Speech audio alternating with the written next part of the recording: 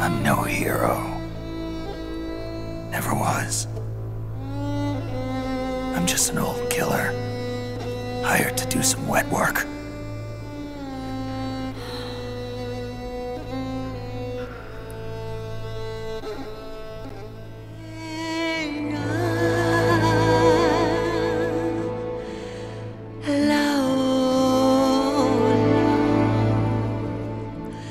She has